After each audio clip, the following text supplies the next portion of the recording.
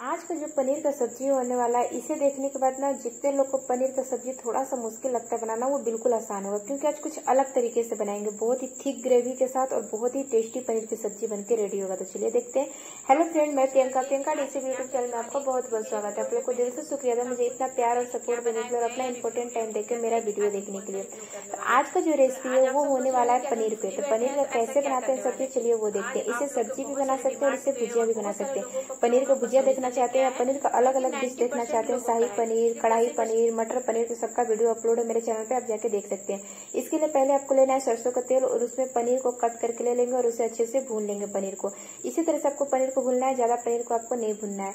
कितने लोग को प्रॉब्लम होता है? पनीर बहुत ज़्यादा हार्ड हो जाता है। जूस में जाने के बाद अंदर तक जूसी नहीं बनता है। जब जूसी बनेगा ही नहीं तो टेस्ट ही नहीं आएगा। सबसे बड़ी बात यहाँ पे ये हो जाता है तो जितना ही पनीर हमारा सॉफ्ट रहेगा ना, उतना ही टेस्टी सब्ज़ी लगता है खाने में। क्योंकि पनीर हार्ड रहता है ना तो उतना अच्छा स्वाद नहीं आता है पनीर की सब्ज़ी में। ये हम सब जानते हैं। तो पनीर को सॉफ्ट आप कैसे बना सकते हैं? पहला नंबर अगर घर पे दूध आप फाड़ते हैं पनीर का ना तो पहले जब दूध उबालते हैं तो उबाल, एक उबाल आने के बाद तुरंत आपको गैस को बंद कर देना है और थोड़ा सा ठंडा होने के बाद दूध को फाड़ना है। उससे जो है पनीर बहुत ही सॉफ्ट होता है। अगर आप बहुत ज़्यादा दूध को उबाल के फाड़िएगा तो पनीर हार्ड हो जाता है। इस बात का ध्यान रखिएगा। उसके बाद जैसे ही पनीर हमारा फ्राई हो जाएगा, कढ़ाई लेंगे, कढ़ाई में डालेंगे सरसों का तेल, थोड़ा सा इसमें डालेंगे तेजपत्ता और थोड़े से खड़े मसाले और इसके बाद डाल देंगे प्याज पीसा हुआ, जिस प्याज को आप कच्चा ही पीस सकते हैं या चाहे तो इसको आप भून के भी पीस सकते हैं। तो हम प्याज को कच्चा ही पीस लिए और पीस को इसको अच्छे से भून लेंगे, गोल्डन ब्राउन होने तक। और ये देखिए, बिल्कुल इसका कलर जो है चेंज हो गया, बहुत ही अच्छे से ये भून गया है। अब यहीं पर डाल देंगे अदरक, लहसुन और हरी मिर्च का कुटा हुआ दरदरा पेस्ट। आपको नहीं डालना है, पीस लेना है। अगर आप दरदरा पेस्ट डालना चाहते हैं तो दो चम्मच अदरक, लहसुन और हरी मिर्च का दरदरा पेस्ट डाल दीजिए। इस सबको अच्छे से भून लेंगे और इसमें हम क्या करते हैं ना कि थोड़ा सा जीरा, मरीच भी लेके इसी के साथ पीस लेते हैं। अगर आपके पास कुटा हुआ जीरा, मरीच है तो आप वो डाल दीजिए और भी अच्छा रहेगा। उसके बाद यहाँ पे दही लेना है। दही में आपको डालना है एक चम्मच भर के धनिया पाउडर, एक छोटी चम्मच हल्दी पाउडर और एक चम्मच भर के डालना है कश्मीरी लाल मिर्च का पाउडर। ये तीखा कम होता है इसे कलर के लिए इस्तेमाल किया जाता है। अगर और भी ज़्यादा तीखा खाना पसंद करते हैं तो आप यहाँ पे जो है नॉर्मल जो लाल मिर्च आता है, तीखा वाला, वो डाल दीजिए। और ये देखिए, हमारा पेस्ट बिल्कुल रेडी हो गया है और यहाँ पे हमारा अदरक, लहसुन जो है, वो भी बहुत अच्छे से भून गया है। तब ये जो पेस्ट है हमारा, वो यहीं पर डाल देंगे। इससे जो है दही डालने से ना सब्ज़ी में टेस्ट बहुत ही अच्छा आता है। एक बार बना के इस तरीके से देखिएगा। हंड्रेड आपको जो है ना ये सब्ज़ी बहुत ज़्यादा पसंद आएगा। तो इसमें सारे मसाले को डाल देंगे और इसको अच्छे से भूनेंगे। आपको भूनना है तब तक, जब तक मसाले से बिल्कुल तेल अलग ना हो जाए और मसाला बहुत अच्छे से भून ना जाए। मसाला का प्रोसेस यही होता है कि जब तक हम मसाला को खूब अच्छे से नहीं भूनते ना, हमारा सब्ज़ी उतना ज़्यादा टेस्टी नहीं लगता है।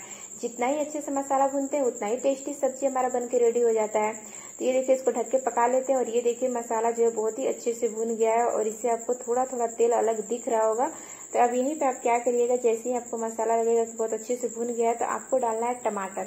आप दो टमाटर ले लीजिए, उसको पीस लीजिए या कद्दूकस कर लीजिए। उसके बाद डाल देंगे एक चम्मच भर के गरम मसाला। जो गरम मसाला आप इस्तेमाल करते हैं, वही डालिएगा। अब ज़ाहिर सी बात है कि टमाटर डालने हैं तो नमक डालेंगे, क्योंकि नमक डालने से टमाटर से पानी रिलीज़ होता है और मसाला को भुनने में हेल्प मिलता है। तो दो बड़े चम्मच आपको डालना है नमक स्वाद अनुसार। सबको ढक के अच्छे से पका लेंगे और ये देखिए हमारा जो है पाँच मिनट के बाद फाइनल रिज़ल्ट आपको देखने को दिख रहा होगा। कितना टेस्टी हमारा मसाला जो है बिल्कुल भुन गया है। मसाला से तेल भी अलग हो गया है तो इसे एक मिनट के लिए और भून लेते हैं और हमारा मसाला बिल्कुल भून के रेडी हो गया। इससे ज़्यादा बिल्कुल भी मसाला को नहीं भुनेंगे। अब यही हम पानी को उबाल लेंगे। उबला हुआ ही पानी हमें डालना है, ठंडा पानी बिल्कुल भी नहीं डालना है। तो पहले पनीर को डाल देते हैं और मसाले के साथ हल्का सा भून लेते हैं ताकि मसाला जो है पनीर में बहुत अच्छे से मिक्स हो जाए। उससे पहले अगर आप मेरे चैनल पर नए हैं तो चैनल को सब्सक्राइब कर लीजिए, बेल का घंटा प्रेस कर लीजिए ताकि आने वाले वीडियो का आपको नोटिफिकेशन मिल सके और आप मेरे वीडियो का लाभ सबसे पहले उठा सके।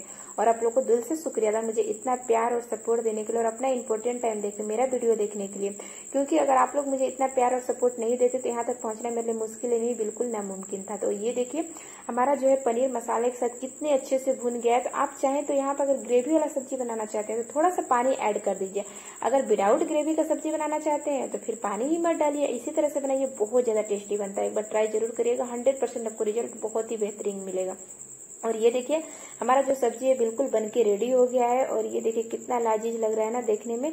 बहुत ही टेस्टी हमारा सब्ज़ी बन के रेडी हुआ है। तो इस तरह से आप सब्ज़ी बनाइए, खाइए और सबको खिलाइए। और कैसा लगा पनीर की सब्ज़ी, मुझे कमेंट करके बताना बिल्कुल भी वीडियो पसंद आएगा तो वीडियो को लाइक शेयर और चैनल को सब्सक्राइब ज़रूर करके जाइएगा। फ्रेंड और फैमिली के साथ भी शेयर कर दीजिएगा ताकि वो लोग भी मेरे वीडियो का लाभ उठा सके और ढेर सारे प्यारे प्यारे कमेंट करिएगा ताकि आपके लिए न्यू रेसिपी लेके आए। कमेंट करके मुझे ज़रूर बताइएगा कि न्यू रेसिपी आपको क्या चीज़ का देखना है।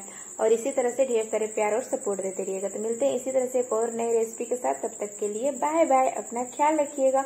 और मेरे चैनल पर आपको दो तरह का वीडियो मिल जाता है। कुकिंग और रिव्यू का। दोनों का लाभ उठा सकते हैं। मेरे चैनल को सब्सक्राइब करके।